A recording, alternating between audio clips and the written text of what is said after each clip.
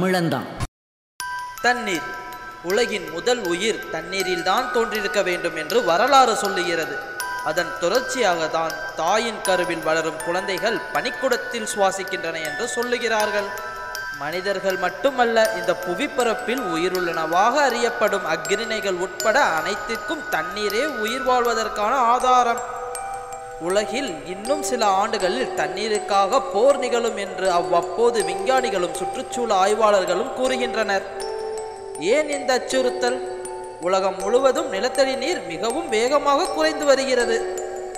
நிலத்தடி நீர் குறைவதால் பல வழிகளில் பாதிப்பு ஏற்படுகிறது. இந்த அளவுக்கு தண்ணீர் தட்டுப்பாடு ஏற்பட என்ன காரணம்? யாரை குற்றம் சொல்வது? அரசையா? பன்னாட்டு தனியார் நிறுவனங்களையா? தனி மனிதனையா? யாரை சொன்னாலும் அவர்கள் மறுத்து இயற்கையைத்தான் குற்றம் சொல்வார்கள். காரணம் அவர்கள் தண்ணீரை ஒரு வியாபார பொருளாக மாற்றிவிட்டார்கள். ஆனால் பல்லாயிரம் வருடங்களுக்கு முன்பாகவே தண்ணீர் நிர்வாகத்தை பொறுத்தவரை தமிழர்கள் ஒரு முன்மாதிரியாக இருந்தார்கள் என்றால் மிகையாகாது. அதற்கு ஆதாரமாக ஏராளமான இலக்கியங்கள் நம்மிடமே உள்ளது. இது மட்டும் இல்லாமல் அக்காலத்தில் மன்னர்கள் எத்தனையோ ஏரிகளையும் குளங்களையும் வெட்டினார்கள். தண்ணீரை புனிதமான ஒன்றாக பார்த்தார்கள் பாதுகாத்தார்கள்.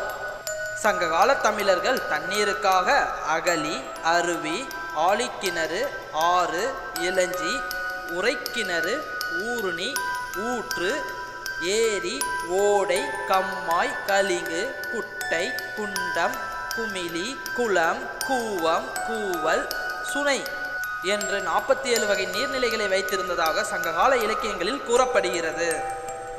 நமது வருங்கால சந்ததி எப்படிப்பட்டால் நமக்கென்ன? நாம் இருந்து பார்க்கவா போகிறோம் என்ற எண்ணம் நமக்கு.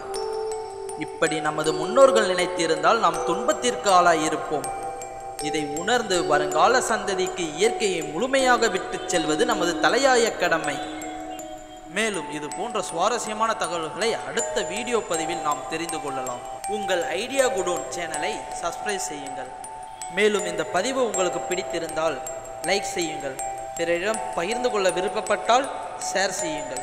ஏதேனும் தெரிவிக்க நினைத்தால் கமெண்ட் செய்யுங்கள். நன்றி.